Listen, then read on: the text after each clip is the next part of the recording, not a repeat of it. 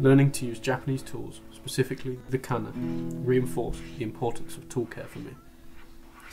Without truly understanding how to make, set up, maintain, sharpen, and adjust a Japanese plane, it will never function properly.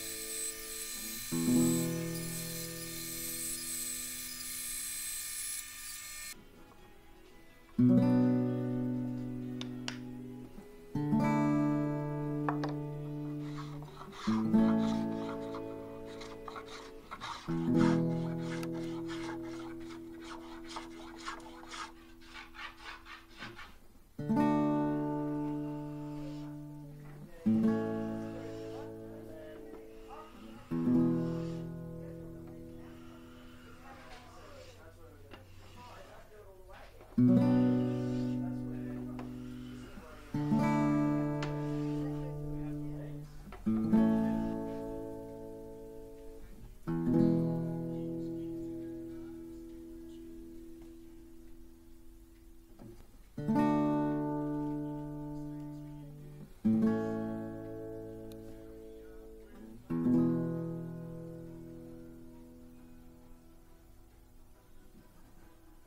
mm -hmm. you